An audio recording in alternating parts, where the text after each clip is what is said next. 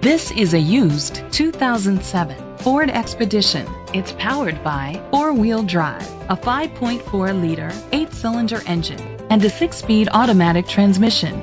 The features include steering wheel controls, an adjustable tilt steering wheel, power seats, roof rails, cruise control, keyless entry, split rear seats, an MP3 player, privacy glass, air conditioning. Safety was made a priority with these features. Curtain head airbags, side airbags, independent suspension, brake assist, a passenger airbag, low tire pressure warning, front ventilated disc brakes, anti-lock brakes, child safety locks. Great quality at a great price. Call or click to contact us today.